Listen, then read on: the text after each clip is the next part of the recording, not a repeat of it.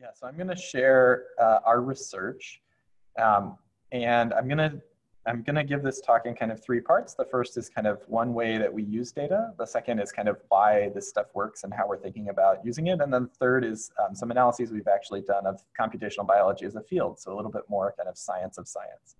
I've also got the chat window open on the side. So if you want to type a message on the side, I will try to answer it as we go along. Um, I'm also happy to answer questions afterwards, but if there's clarifying questions, it's probably helpful to get them in uh, earlier. So why use everyone else's data? Uh, you know, I think um, I end up reading a fair bit about, um, you know, kind of the history of science and, and kind of others who've thought about sort of science as a process. And um, in the US, Vannevar Bush played a key role in really driving uh, the government to invest in science. And um, he has this letter to FDR really laying out the idea behind the National Science Foundation.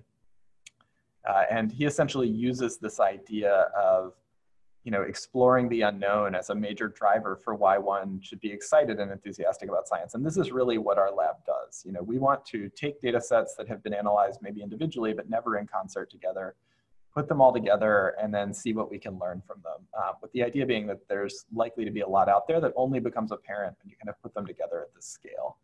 Um, and we use mostly uh, unsupervised methods for a lot of this just to kind of um, help us understand the landscape. So uh, we tend to work from kind of a motivating uh, challenge, like many people. Uh, so the story that I'm going to start with, um, the motivating challenge in this case was that if you want to do an analysis that spanned a gene expression data set, multiple gene expression data sets, this, is, this still is not terribly easy. Um, and it's particularly challenging if you need to compare, say, different tissues or um, you know, different disease models and tissue samples. And so um, had a postdoc who joined the group, Jaclyn Taroni, who, um, when she was a PhD student, had worked on approaches using a modular framework. So you can imagine using things like uh, WGCNA or other types of approaches to extract modules. And if you had, say, a gray data set, a purple data set, and a blue data set, you would extract modules from each of them, and then you'd sort of use your expert knowledge about how the system works to try to connect, oh, this module in this data set is the same as that module in that data set. Um, and so this was kind of one way to push this type of project forward. It's just extremely manually uh, intensive because you end up having to use your knowledge as an expert of what these data sets represent and the cell types involved to link these modules. So what uh, Dr. Taroni did when she joined our group as a postdoc was to say, well, you know, wouldn't it be great if I didn't have to sort of manually link these across different diseases and different tissues? What if I just had this reusable module library that I could pull from for every data set. And maybe that module library would be consistent enough that I could use it across uh, very different data sets. Um, and so what you wanted to do was to extract these modules and use them in a rare disease context. So basically, could we get modules that would represent key elements of rare diseases? Um, a challenge with this is, you know, if you want to extract really detailed modules, uh, if you're going to use sort of unsupervised machine learning methods, and you want to go kind of beyond clustering to sort of some of these factorization types approaches, um, you need a pretty your, your matrix is going to have a large number of uh, features and a small number of examples in the rare disease context. And this is not the world we, we want to live in, right? With machine learning, we want to have a modest number of really relevant features. And ideally, we want to know those things about sort of as many examples as we possibly can this is the world we lived in because Jackie was interested in rare diseases where, you know, we can do genome-wide measurements, but, you know, we're really only going to ever have those measurements on about 100 people, regardless of sort of how much money we have, right? It's just sort of a sample availability challenge. And so what she decided was, well, you know, maybe the way to do this is to, to create this module library is to make machine learning modules that would work for many biological contexts, essentially any biological context. And then the rare disease context that we're looking at is not sort of a unique case that we have to build a module library for. We can just use the general purpose library. And since this is our group, we love to sort of look at what's out there in the publicly available uh, transcriptomic data. And uh, if you look at what's downloadable now, if you're Lego Grace Hopper and you have an internet connection, uh, we think there's about 4 million gene expression samples across all the various repositories that hold these. Um, if you want to think about what that would cost to generate in your own lab, uh, if you happen to spend, you know, thinking that some of these are clinical, some are going to be more time consuming to generate, some will be less time consuming, reagent costs will be variable. Our back of the envelope was, you know, including person time and everything else, it's maybe $1,000 a sample. So that's a $4 billion uh, resource right there. And uh, I don't think there's that many labs that have $4 billion in research funding to just go out and generate this type of data um, de novo. So really, if you're Lego Grace Hopper, we recommend downloading it. And that's what we do. Um, and so once you can download all that data, uh, you can then build a matrix of genes by many, many, many samples. Uh, what Jackie uh, expected was that the biological meaning, biologically meaningful patterns for rare diseases, including cell type information, could be learned from this type of sort of generic data downloaded from the internet.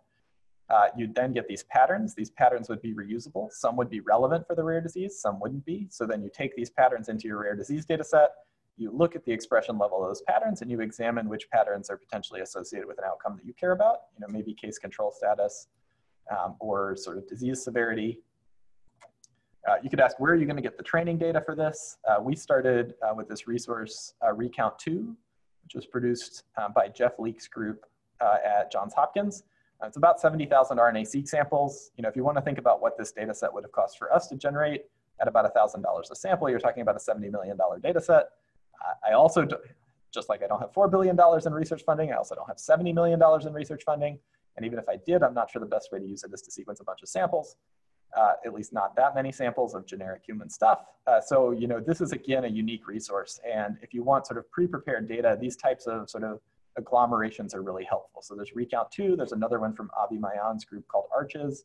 Um, and then the Childhood Cancer Data Lab, where I'm actually sitting in right now, has produced one called Refine.bio um, that has compendia you can download that are similar in structure. Um, all of these have pretty similar properties. They're largely just generated with different methods. Um, so if you use a certain method in your group, like you know, Salmon or kallisto or um, Recount to Israel, um, you can uh, likely find a comparable sort of public compendium if you're interested. The uh, method that we applied is something from Maria Chikina's group. This actually just came out in Nature Methods, I believe, end of last year or beginning of this year, actually last year. Um, PLIER is this really nice um, approach to do this factor, to sort of solve this factorization challenge. Um, it, you can think of it essentially as matrix factorization with a few constraints. Um, one is um, it really if there's a kind of way to align a feature to a pathway, there's a slight boost for aligning to pathways or uh, you know, lack of a penalty. Um, and that we find is really helpful for making the model interpretable. So you can think about these models as essentially having arbitrary rotations and being able to sort of force them to align or encourage them to align to pathways often leads to a rotation that we find to be much more interpretable. Um, and then there's some other sparsity elements that also aid in interpretability. But if you just wanted to think about this as matrix factorization with some bells and whistles, that's one way you could think about it. Um, so essentially, we're going to learn these factors, or in this case, latent variables. And then um, what Dr. Taroni contributed was to make machine learning models for many biological contexts. She was going to take Recount2, sort of this generic collection of human data, uh, run PLIER over it to get this sort of collection. And the idea of sort of putting PLIER together with all this human data, we called MultiPLIER. Everything in computational biology needs a name. Um, this animation is not going to work because I'm trying out some new software today. Uh, but um, I'll take you through this. I think it's just going to be slightly uh, obscured by some words. Um, so uh, first, we can ask how this model works against some comparison sets. So what I'm showing you here, uh, this bar on the left is Recount2. So this is sort of generic human data downloaded from the internet. The, the um, box plot uh, portion is the same size as this data set. So this data set is if you downloaded all the whole blood data for lupus, um, what you would get uh, in terms of model uh, performance according to various metrics that I'll tell you about. Where you see the diamond, the diamond in this case is if you use the complete set of Recount2 data. So these two data sets are the same size. Uh, these two data sets are the different size but the same composition. And we can ask uh, how many uh, total things we learn, so how many latent variables can we extract. With the disease-specific data, we actually extract more latent variables. Um, and you can barely see this probably, it's pretty faded underneath this uh, thing, but you can extract more latent variables um, than you do with the generic data at the same data set size. But if you have the full collection of data, you can still extract more. So this makes sense, right? You, your data is probably noisier if it's just random stuff downloaded from the internet. Um, but on the other hand, even though it's noisier, uh, you have so much more of it, you kind of have power to extract more things. Uh, I won't belabor the point on this slide because all of these are in the uh, paper, uh, which is now published. Um, but I'll just say uh, the pathway coverage of the model, we, we can we can identify more pathways as transcriptionally co-regulated um, when we have more data, which is probably not terribly surprising again. Um, and one of the things that was intriguing to us is that if you match the data set size Um, actually, the generic human data has a larger fraction of latent variables are associated with pathways, suggesting that you know, you're not just learning an enormous number of technical artifacts and that's driving the number. Um, but if you have a huge number of uh, samples, so this diamond, which you can probably barely see down here, but can find in the paper, um, you can actually, you actually learn a lot more features that do not align with a known annotated pathway in the databases that we used. Um, so these two pieces of evidence taken together suggest that there might be some transcriptional co-regulation uh, that is maybe not fully annotated in the public databases yet. Uh, and so just to um, give the punchline of why you might use MultiPLIER, um, the main point is that these machine learning analyses where we reuse data from other settings, so in this case, generic human data from the internet, can give us sort of a level of resolution that was otherwise impossible. Um, Jackie goes into this in great detail in the paper around showing how what if you learn, if you build this machine learning model only from data from the rare disease that we were studying, uh, that model is much less detailed and the predictions are much less specific uh, in that it's harder to distinguish. You can say, okay, there's immune high here, but which immune cell types are really driving it is much harder to distinguish. So this is kind of uh, dealt with in, in detail in the paper. Um, but yeah, I would say this is really the methodological um, outcome that you know you would probably be interested in paying attention to. Um, and then now that we have this uh, module library, we call this MultiPLIER, we can then take the modules learned in Recount 2 and apply them to each individual data set. So let's see what that looks like. This is just one example. Again, there's more in the paper. Um, this is an analysis that was remarkably hard to do without this technology. So this is a data set of airway epithelial cells. Um, the composition of each of these is different. The people involved are different. Um, the actual sites that ran the, the samples are different. Um, and this is ordered from most severe form of the disease to least severe form of the disease. And this data set is actually sort of the most severe, this is ANCA associated vasculitis. Um, this goes from sort of uh, GPA active, so the most severe uh, current status through uh, healthy, and then there's some other conditions here. And one of the things you can ask now is you can say which latent variables are consistently associated across data sets. And uh, this M0 macrophage signature was um, one of the most strongly associated with severity across data sets.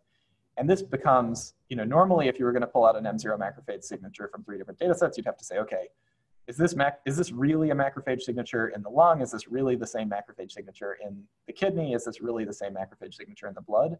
Now, because it's the same latent variable, you're essentially looking at comparable, um, reasonably comparable values across data sets. So this analysis becomes much, much easier to start filtering through and interpreting.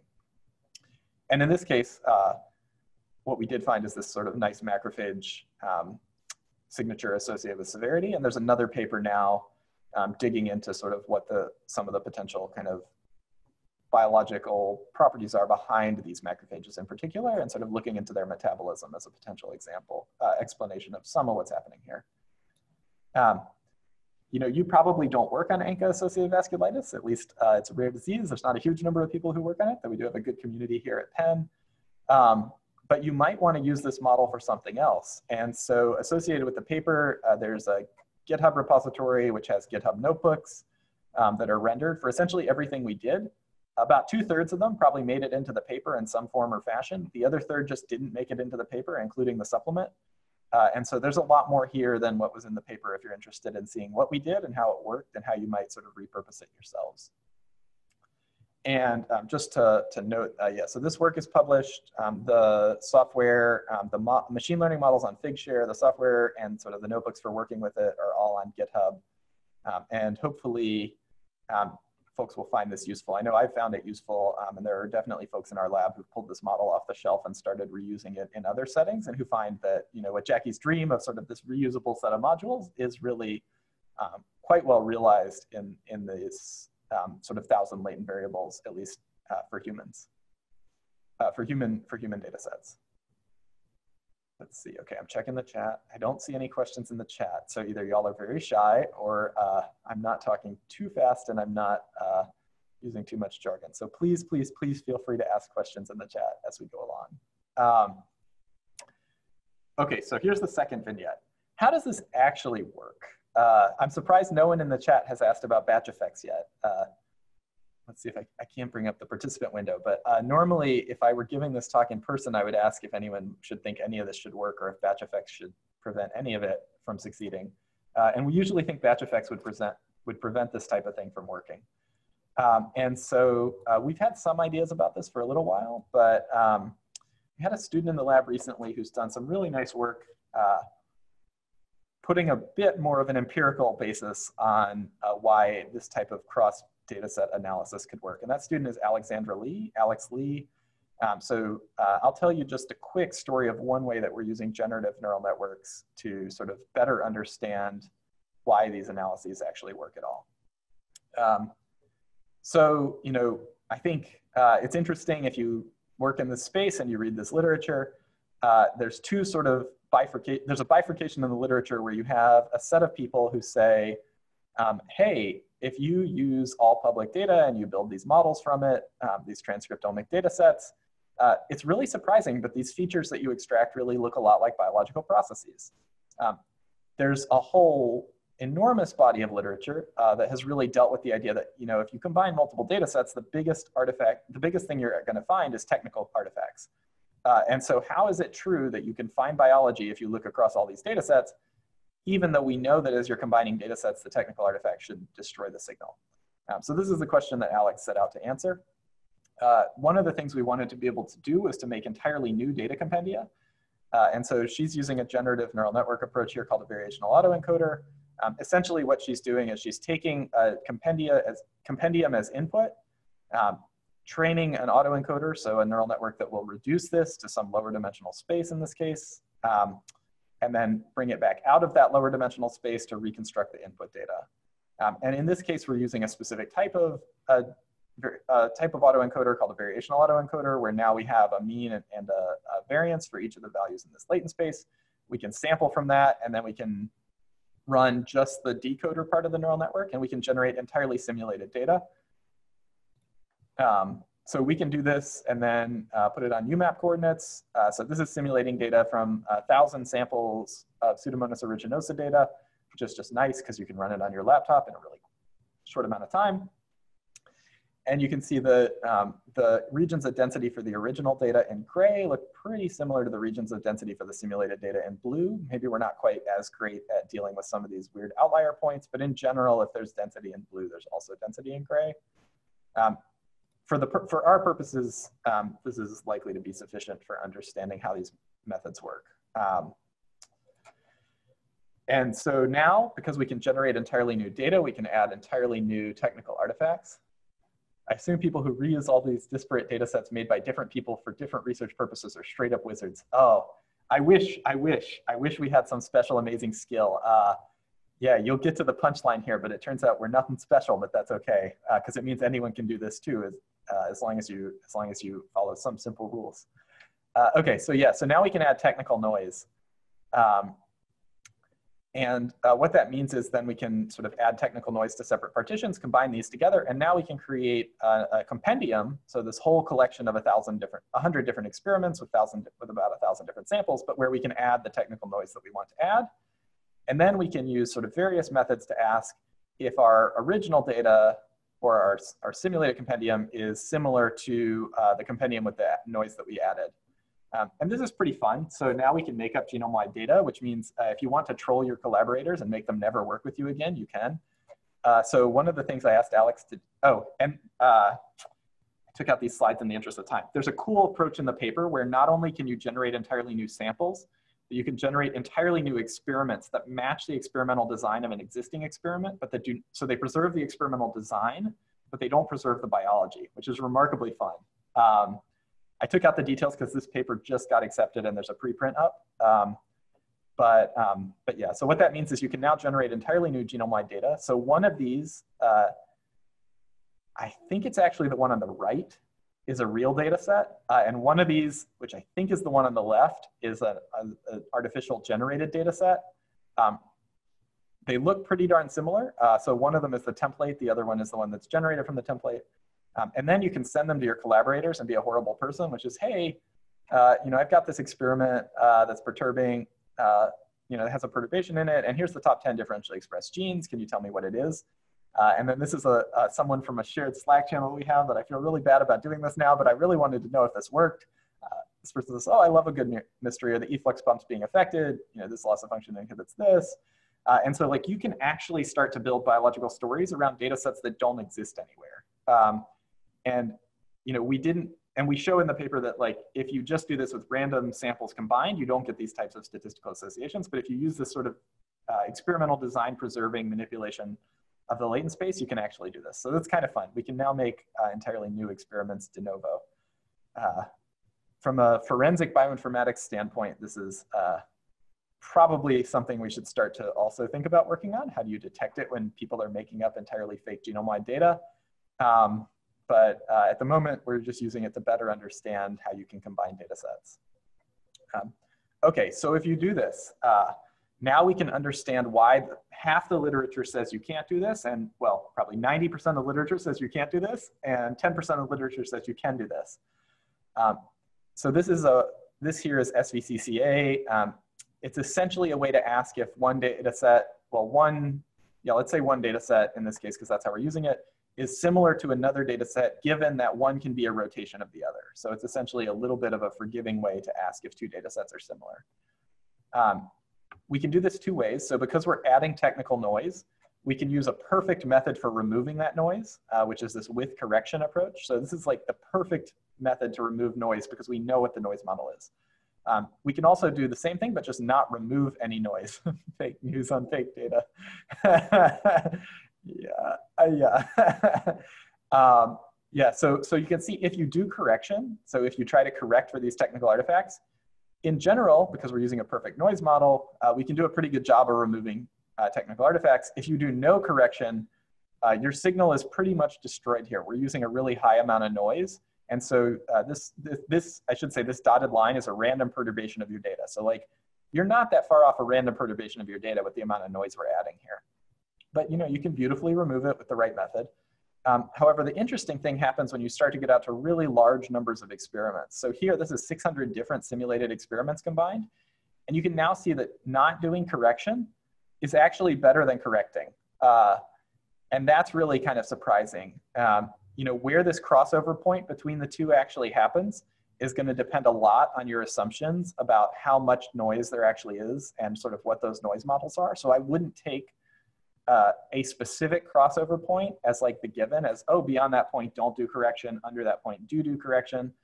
Um, but I would really say there, you know, I think what you should believe is that there is some point where correction no longer helps you. And if you're looking at hundreds of different experiments, you're probably somewhere near, if not past that point, and you might want to think about trying uh, to do something without correcting and sort of see what things look like. Um, okay, so yeah, so it turns out, uh, I think Morgan asked uh, or, or, said we were wizards. I wish we were wizards. Uh, when we did this the first time, uh, we were shocked at how well it worked. That was back in 2012 or 13. A student in my group, Jie Tan, did this, and it just like, the results were beautiful. It was unbelievable. Um, and we kind of guessed this was what was going on, but we didn't have a way to really understand it. Um, now, what we can say more conclusively based on Alex's work with these generative neural networks, since we can now simulate a whole large amount of this data, is that these compendia-wide analyses can actually work um, largely because there's some underlying consistent signal, which is sort of often going to be more biological, and the technical noise is hopefully going to be relatively experiment specific. Um, we just heard that this paper was accepted yesterday, so congrats to Alex. Uh, that's wonderful news. Um, the code for this is on GitHub. Um, there's also a package called Um, which we refactored out of this. So now if you want to simu simulate your own data using these variational autoencoders, uh, you can do that. Um, and we're now using that for a couple other cool things, uh, projects that build on this that I didn't have time to, to talk about, but um, yeah, I'm really excited. I think the ability to generate new data and sort of understand uh, how you can use it is kind of a fun technology um, for genome-wide gene expression. It's been possible before, but um, this sort of variational autoencoder approach just makes it so simple um, without having to make a lot of strong assumptions. Okay, and then in the final bit of this, I just want to talk about some work that um, we've done relatively recently to understand uh, how uh, equitably we distribute honors in our field. Uh, and we were interested in the question a little bit more broadly than our field, but we use computational biology as a case study because we are computational biologists. And I thought you might find it interesting because I suspect many of you are also computational biologists. Um, so we use the International Society for Computational Biology, which I know some people were at ISMB um, and are and um, you know are aware of it. Uh, so it's a scholarly society. It's supposed to be a worldwide uh, effort, um, and uh, it's supposed to be uh, dedicated to uh, really improving uh, the sort of field of computational biology. Um, diversity is a core value. You know, this is a society that's really trying to do um, everything it can do right. Um, and so we wanted to understand, you know, how does a society that's trying to do its best actually do? Uh, and one of the things we wanted to understand were how honors are distributed because, you know, I think the people we choose to honor tell us a lot about ourselves, right? Um, so, and thinking about sort of how science happens, um, we're evaluated by our peers all the time. For honors, we're evaluated. For grants, we're evaluated and our science is evaluated. For papers, it's supposed to be our science that's evaluated, but there's a large number of, uh, there's a pretty big body of literature that suggests that both the people and the papers are evaluated. Um, and because science is so self-governing, I think honors can reveal a lot about what we value. Um, you know, I think uh, there's, we see this a lot in, uh, so this is the US National Institutes of Health, uh, looked at um, award success rates and, under, and tried to understand why minority scientists were not as successful in their grant applications. And their takeaway was that minority scientists were tending to apply for awards on topics with lower success rates. But because science is so peer evaluation based, if you are not a, major, a member of sort of uh, the majority of a, if you are a, my, if your work is um, coming from a perspective that's not recognized uh, by a large portion of the study section, you know, as, as critically important, your work might be devalued unfairly. Um, and so, you know, one potential implication is that minority scientists are applying for awards in areas with lower success rates, but a similar, uh, similarly compatible um, interpretation with the findings is that reviewers might not actually be recognizing the scientific importance of these topics appropriately. And so we thought, you know, using that as a jumping off point and trying to understand if we were evaluating scientific importance in a way that negatively influence sort of diversity, if that was, um, that's really the question we wanted to go after. And so we thought that directly measuring peer recognition could help to disentangle this.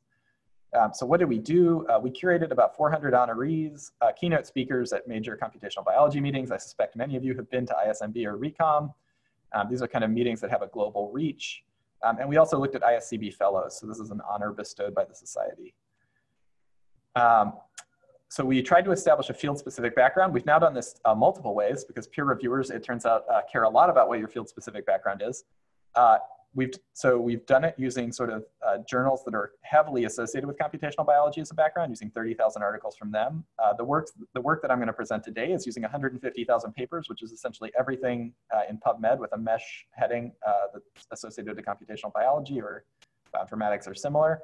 Um, we built an automated processing pipeline. So from each of these, we can extract the author name, the position, uh, the author position, any affiliations, and we can map those affiliations to countries. Um, we also have some other stuff we developed to do this, but we'll start first with gender.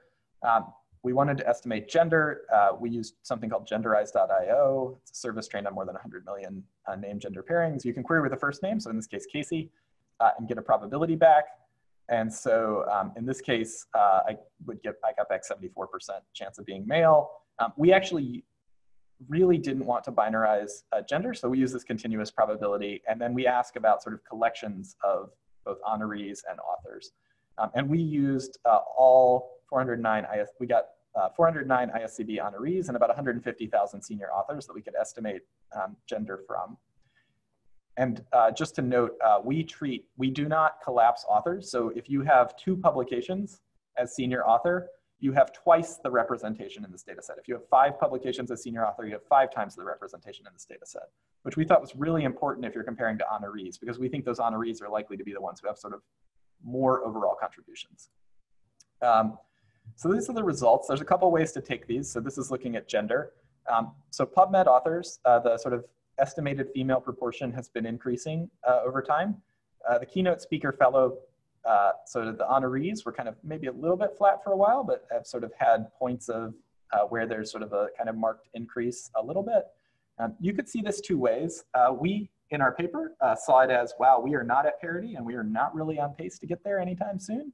Um, other, uh, you know, uh, certain, we also got reviews uh, on this paper that suggested that we did not appropriately recognize how well ISCB was doing. Uh, and so, you know, I think there's, this could be a glass half full or a glass half, em half empty scenario. Uh, I guess the good news is it's not worse uh, than what we see in the literature, but um, somewhat disappointing that this is, what I would like to see a society that's trying to lead in this area, um, sort of really aim for thinking about what an appropriate distribution is and then trying to get there, um, as opposed to sort of, you know, leading instead of following, I think is important.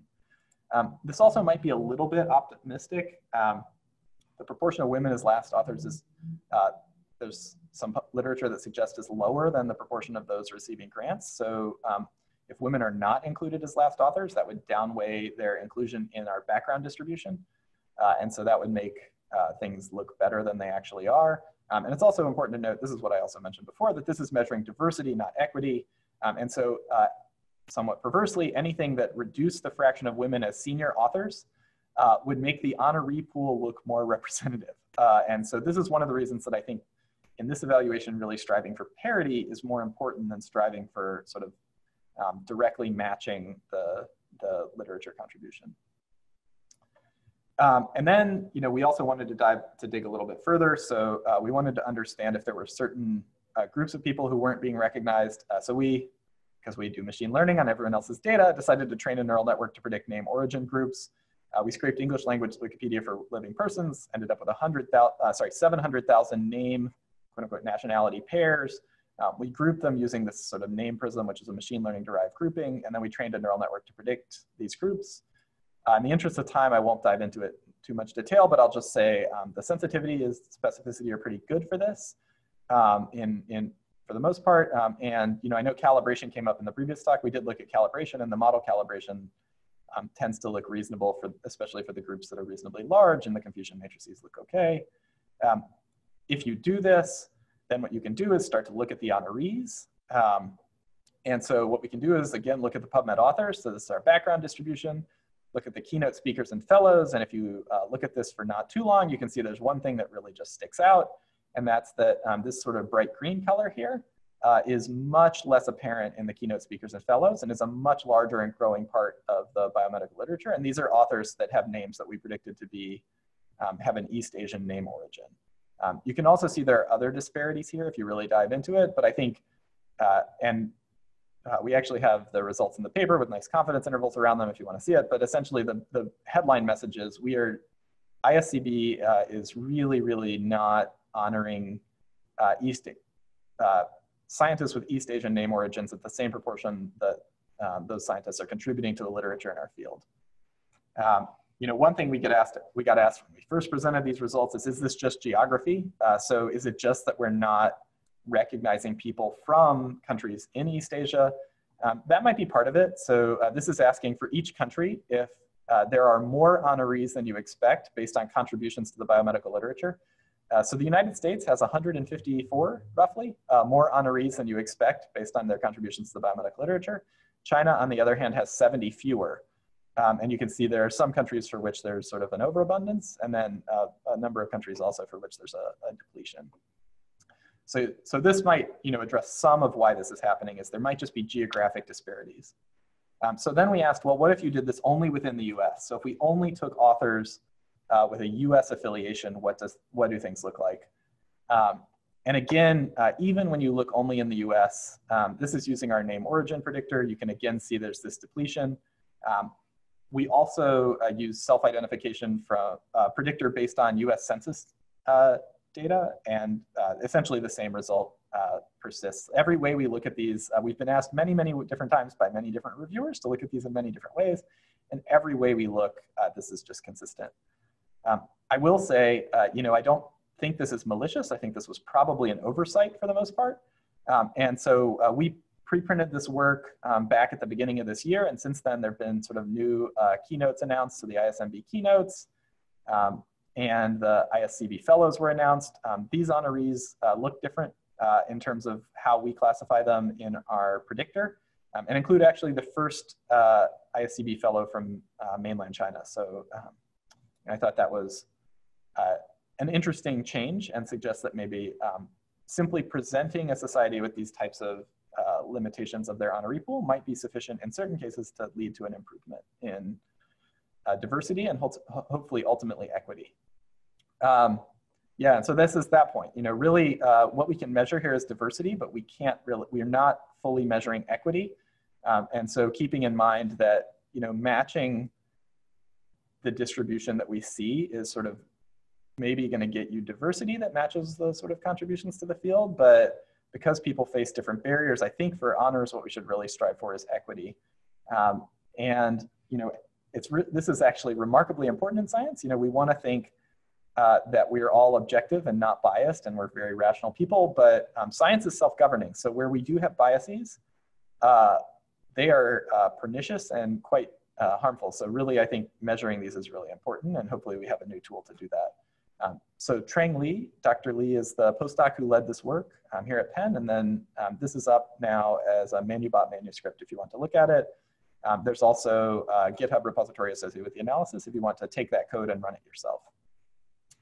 Um, so with that, I want to thank the people who make this possible. Um, the work, so I talked about work from Jaclyn Taroni, who's now a data scientist in the Childhood Cancer Data Lab. Um, I want to note uh, Alex Lee, uh, who's a grad student in the group who talked about, who led the second story, and Trang, uh, who's actually a postdoc in a different lab here at Penn, but who was really excited about this project and led it up. Um, and so they, they were the people who led up that, that work. Um, I'd love to thank the folks who funded it, and I'd be happy to take questions that y'all have.